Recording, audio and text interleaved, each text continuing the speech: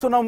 ఇప్పుడే BJP senior నేతలు JP Nadda Prakash Javadekar కర్ణాటకకు బయలుదేరినట్లు తెలుస్తోంది. అధిష్టానం ఆదేశాలతో ఒక పక్క ఇటు కాంగ్రెస్ కీలక నేతలు అశోక్ గెహ్లాట్ మరోవైపు గులాం నబీ ఆజాద్ అక్కడ ఉండి కీలకంగా చర్చలు జరిపి ఇటు జేడీఎస్తో కలిపి ప్రభుత్వాన్ని ఏర్పాటు చేయడానికి ముందుకు వెళుతున్న నేపథ్యంలో ఇటు బీజేపీలో కూడా కదలిక వచ్చింది. బీజేపీ మ్యాజిక్ ఫిగర్కు దగ్గరగా వెళ్ళనే నేపథ్యంలో ఇటు జేడీఎస్తో కలిసి ప్రభుత్వాన్ని ఏర్పాటు చేసే దిశగా జేడీఎస్తో చర్చలు జరపడానికి కూడా బీజేపీ సీనియర్ నేతలు రంగంలోకి దిగినట్లు తెలుస్తోంది. అధిష్టానం ఆదేశాల మేరకు జేపీ నడ్డా అలాగే ప్రకాష్ జవదేకర్ కర్ణాటకకు బయలుదేరినట్లు తెలుస్తోంది. మొత్తం పూర్తి సమాచారం మా ప్రతినిధి ఢిల్లీ నుంచి సురేష్ అందిస్తారు. సురేష్ చెప్పండి ఇటు బీజేపీలో కూడా కదలిక వచ్చినట్టుంది. బీజేపీ సీనియర్ నేతలు కూడా కర్ణాటకకు బయలుదేరినట్లు తెలుస్తోంది.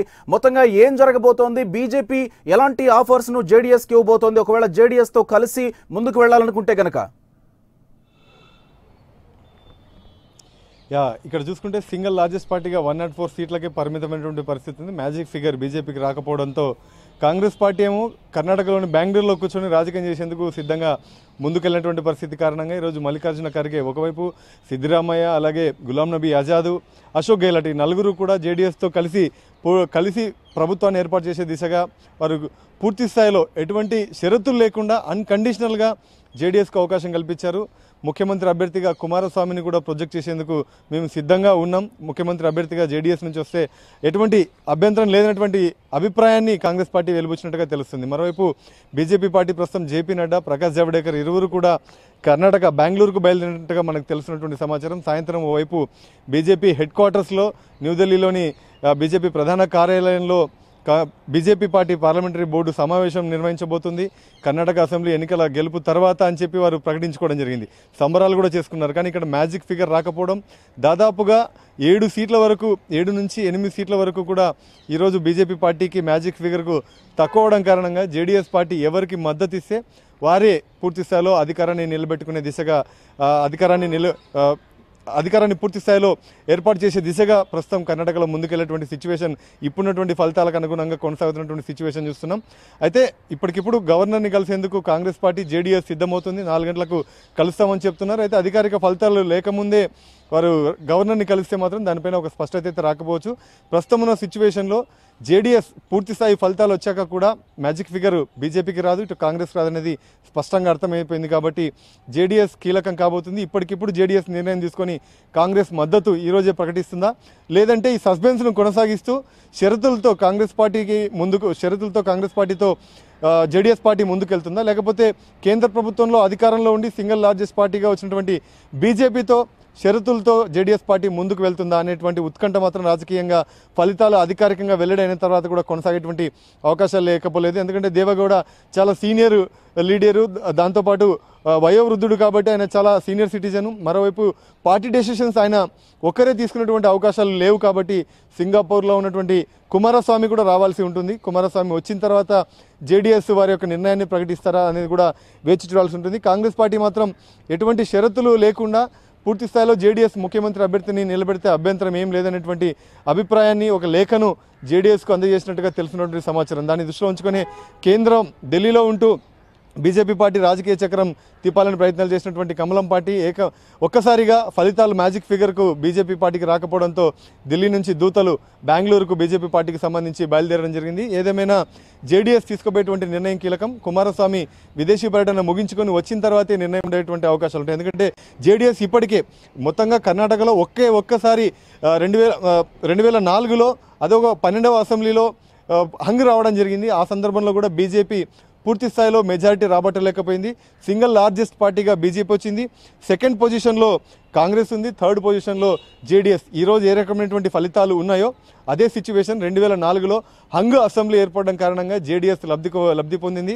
ఆ రోజు కానీ రెండు వేల నాలుగు పన్నెండవ అసెంబ్లీలో మాత్రం కాంగ్రెస్కు అవకాశం కల్పిస్తూ ధరమ్ సింగ్కు ముఖ్యమంత్రి అభ్యర్థి చేసేందుకు జేడీఎస్ పూర్తి స్థాయిలో సపోర్ట్ చేయడం జరిగింది. ఆ సిచ్యువేషన్ దిశగానే ఈరోజు మరొకసారి సెక్యులర్ పార్టీగా మేము ముందుకు వెళ్ళాలన్నటువంటి అభిప్రాయంతో జేడీఎస్ ఇటు కాంగ్రెస్ పార్టీ సిద్ధంగా ఉన్నటువంటి సిచ్యువేషన్ కనపడుతుంది కాబట్టి వారిద్దరు పొత్తుకు వెళ్తారా? లేదంటే షరతులతో ఈరోజు ముఖ్యమంత్రి అభ్యర్థిగా కాంగ్రెస్ కూడా సిద్ధమైంది కాబట్టి మీరు కూడా కమలం పార్టీ కూడా కేంద్రంలో ఉన్నటువంటి బీజేపీ పార్టీ కూడా మాకు అవకాశం కల్పించి బేషరతుగా మా కుమారస్వామిని ముఖ్యమంత్రిగా రాష్ట్రంలో అవకాశం కల్పిస్తూ కేంద్రంలో కూడా జేడీఎస్కు ఏమైనా అవకాశం కల్పిస్తే మంత్రివర్గంలో స్థానం కల్పిస్తే మేము వస్తామనేటువంటి షరతులు పెడతారనేది మాత్రం కుమారస్వామి దేవేగౌడ ఇరువురు తీసుకున్నటువంటి నిర్ణయంపైనే ఆధారపడి ఉంటుంది. ఇప్పటి వరకు కూడా జేడీఎస్ సుప్రీమోగా దేవగౌడ ఉన్నారు. మరోవైపు కుమారస్వామి కూడా ఆయన నిర్ణయాన్ని తీసుకునే తండ్రి తనయును నిర్ణయం మేరకు ముందుకెళ్ళేటువంటి అవకాశాలు ఉంటాయి కాబట్టి ఈ ఉత్కంఠ ఈ రోజుతో తెరపడుతుందా?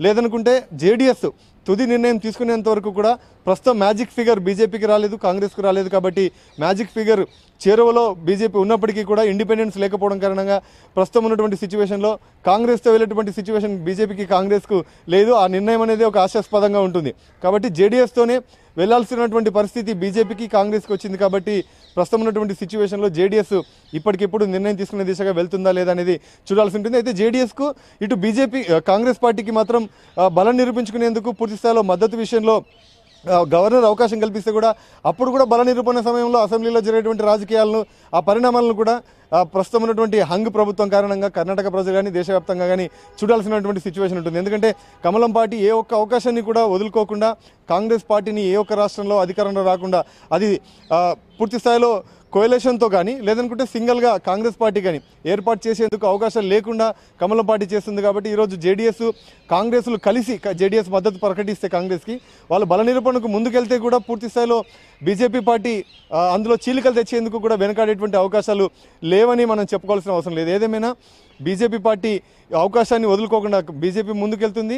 గతంలో రెండు వేల నాలుగు నుంచి ఇప్పటి వరకు గోవా కానీ మణిపూర్ కానీ మిగిలిన రాష్ట్రాల్లో జరిగిన పరిస్థితులు పునరావృతం అవ్వకుండా కాంగ్రెస్ పార్టీ ప్రయత్నాలు చేసింది. కానీ జేడీఎస్ తీసుకోబోయేటువంటి నిర్ణయం కీలకం కాబోతుంది. రెండోసారి దాదాపుగా పద్నాలుగు అసెంబ్లీ ఎన్నికలు ఇప్పటిదాకా పూర్తి అయ్యాయి ఈరోజు పదైదో అసెంబ్లీ ఎన్నికలకు పోలింగ్ జరిగింది. రిజల్ట్ కూడా వచ్చింది.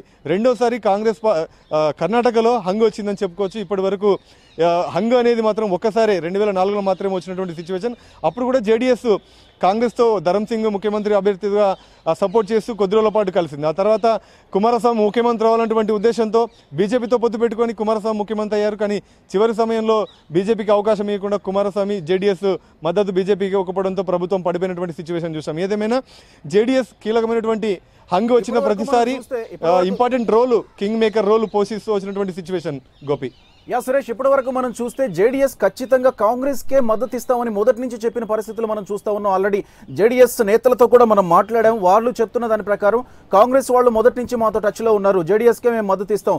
బీజేపీకి ఎట్టి పరిస్థితుల్లోనూ మద్దతు ఇవ్వబోమని వాళ్ళు చెప్పారు. కానీ ఇప్పుడు కేంద్రం నుంచి దూతలు మీరు చెప్తున్నటువంటి ఎవరైతే సీనియర్ నేతలు ఉన్నారో వాళ్ళు కర్ణాటకకు వచ్చి జేడీఎస్ నేతలతో సంప్రదింపులు జరపబోతున్నారు కాబట్టి ఒకవేళ వాళ్ళకు నచ్చినటువంటి ఇష్టమైనటువంటి లేదా జేడీఎస్కు ప్రయోజనం కలిగించేటువంటి ఆఫర్స్ ఏమన్నా ఇస్తే గనక జేడీఎస్ మెత్తబడి యూటర్న్ తీసుకునే అవకాశం ఏమన్నా ఉందనుకోవచ్చా యా ఇప్పటికిప్పుడు జేడీఎస్ నిర్ణయం తీసుకుంటుందా లేదా అనేది మాత్రం చూడాల్సి ఉంటుంది. ఎందుకంటే ఇంకా అధికారిక ఫలితాలు పూర్తిగా రాలేదు ఒకటి. కుమారస్వామి విదేశాల్లో ఉన్నారు. భారత్లో కర్ణాటకలో బెంగళూరులో అందుబాటులో లేనటువంటి సిచ్యువేషన్ దాంతోపాటు బేషరతుగా ఎటువంటి అభ్యంతరాలు లేకుండా షరతులు లేకుండా కాంగ్రెస్ పార్టీ క్లీన్ చిట్తో కుమార్ ముఖ్యమంత్రి చేసేందుకు సిద్ధమవుతున్నటువంటి ఈ సిచ్యువేషన్లో బీజేపీ పార్టీ ఎటువంటి ఆఫర్స్ మాత్రం కీలకం కాబోతుంది కాబట్టి సురేష్ ఆల్రెడీ కుమారస్వామి ఉదయమే కర్ణాటకకి వచ్చేసారు ఆల్రెడీ సంప్రదింపులు కూడా జరుగుతున్నాయి కుమారస్వామితో అనేది ఒక అప్డేట్. ఎస్ మొత్తంగా ఏం జరగబోతోంది? ఒకవేళ బీజేపీ నేతలు వచ్చి కుమారస్వామితో సంప్రదింపులు జరిపితే గనక ఏమన్నా యూటర్న్ తీసుకునే అవకాశం ఉందా? యా ఇప్పటికిప్పుడు మరి బీజేపీతో కలిసేందుకు కాంగ్ జేడీఎస్ పార్టీ ముందుకెళ్తుందా? కాంగ్రెస్ పార్టీతో ముందుకెళ్తుందా అనేది మాత్రం ఇప్పటిదాకా అధికారికంగా జేడీఎస్ నుంచి ఎటువంటి సమాచారం లేదు. ఎందుకంటే ఇంకా ఎన్నికలకు సంబంధించినటువంటి పో ప్రస్తుతం కౌంటింగ్ ప్రక్రియ కొనసాగుతుంది కాబట్టి. జే కాంగ్